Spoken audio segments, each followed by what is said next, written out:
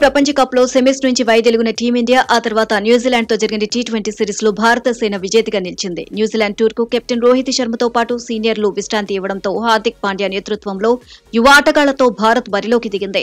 అయితే మొదటి T twenty match వర్షం కారణంగా రద్దు కాగా రెండో టీ ట్వంటీ మ్యాచ్లో భారత్ ఘన విజయం సాధించింది. మూడో మ్యాచ్ కూడా వర్షం కారణంగా నిలిచిపోయింది.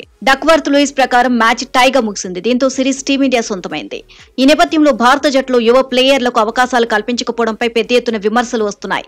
ముఖ్యంగా రిషబ్ పంత్ లాంటి ఆటగాళ్ళు పదే పదే బ్యాటింగ్లో విఫలమవుతున్నా అతనికి అవకాశాలు కల్పిస్తున్నారని మాజీ క్రికెటర్లు మండిపడుతున్నారు.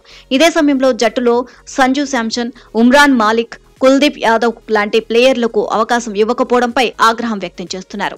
ఈ విమర్శలపై టీమిండియా తాత్కాలిక కెప్టెన్ హార్దిక్ పాండ్యా స్పందించాడు. సంజు శాంసన్కు అవకాశం కల్పించకపోవడం దురదృష్టకరమని చెప్పుకొచ్చాడు. జట్టు వ్యూహాల్లో భాగంగానే తుది జట్టులో అతనికి చోటు లేకుండా పోయిందని తెలిపాడు. అదే సమయంలో జట్టులో చోటు దక్కకపోవడంపై అసంతృప్తిగా ఉన్న ప్లేయర్లు తనతో వచ్చి మాట్లాడవచ్చని హార్దిక్ పాండ్యా సూచించాడు.